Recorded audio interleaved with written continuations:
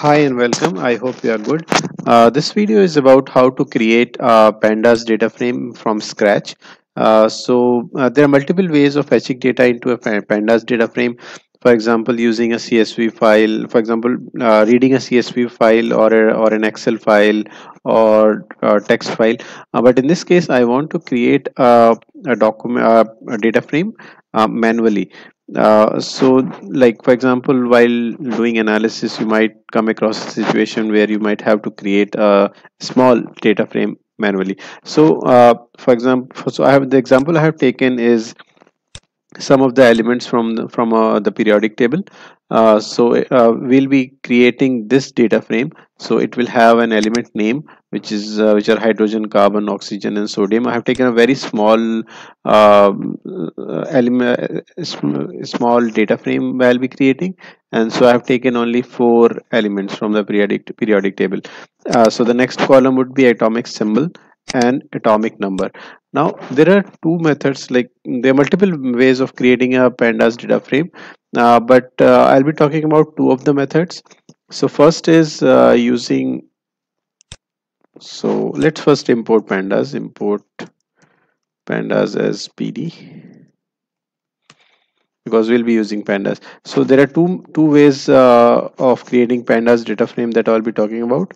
So methods of creating pandas data frame. So the first one is using dictionary. And pd dot data frame method. And the second one is using list of lists and pd dot data frame okay so let's start with using dictionary.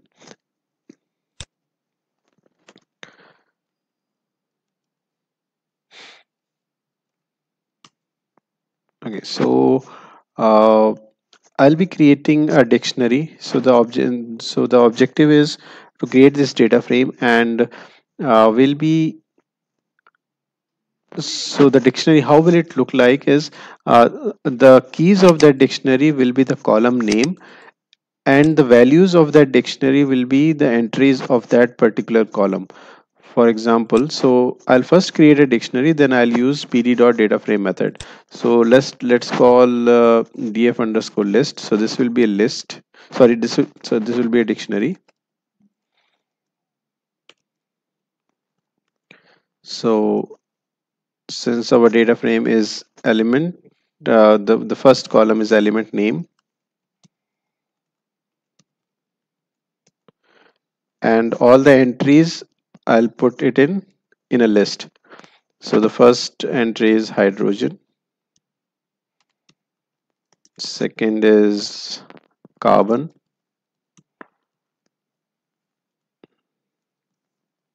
Sec uh, third is oxygen and fourth is sodium.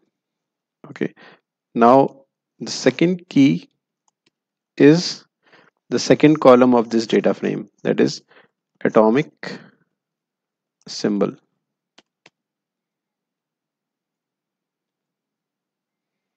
So in atomic symbol the elements are H car C carbon oxygen O and for sodium it's Na.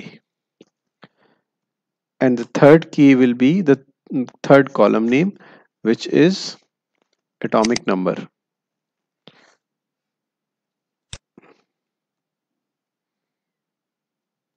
ATOMIC number. So the atomic numbers are 1 6 8 11 let's check.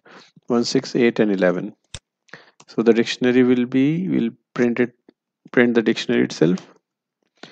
Okay now we have to convert this dictionary into a data frame. So to do that we'll be using pd dot data frame df underscore dictionary. Okay so we have created the pandas data frame.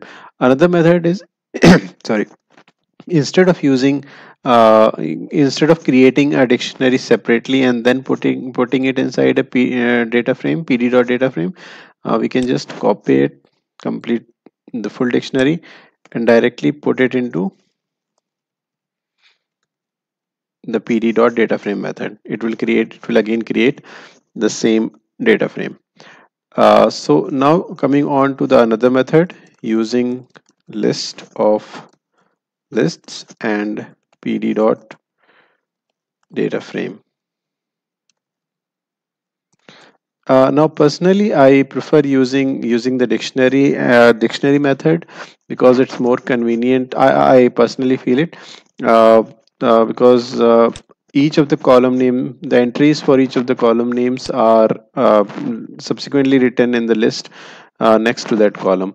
The other method using the other method uh, using lists list of lists. So let's let's uh, so in list of lists lists what we need to create is for each of the rows we'll create a list. So in this case there are four rows in this data frame. So we'll be creating four different different lists. So let's let's call it list of lists.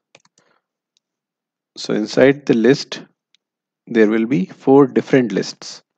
Okay it's uh, uh, even the pronounce pronouncing it is little difficult. So hydrogen. Second now the second entry will be h. And third entry will be 1 similarly we'll be creating another list carbon comma c comma 6 then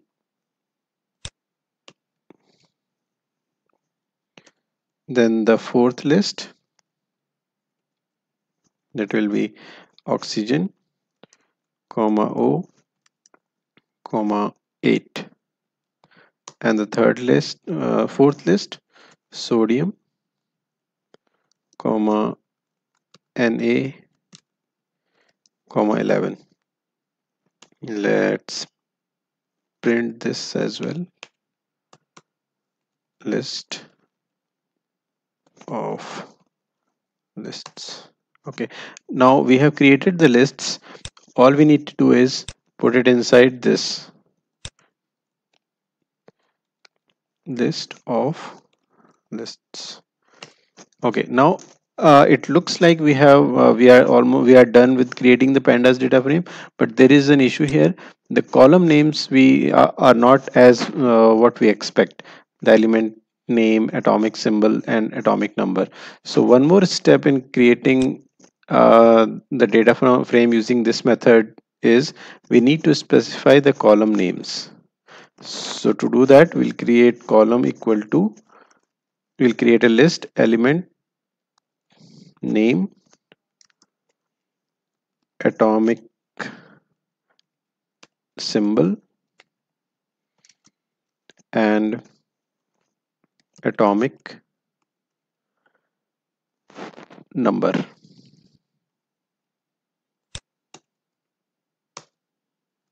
Okay. So basically it's columns and not column. Uh, so this creates uh, a data frame uh, which was expected using a different method. So i'll write down the summary again. So i have just told you two different methods of creating the same data frame. So writing down the summary using uh, we need to create uh, a panda pandas data frame that was that looks like this or in your scenario it would be Mm, completely different data frame but the idea would be the same.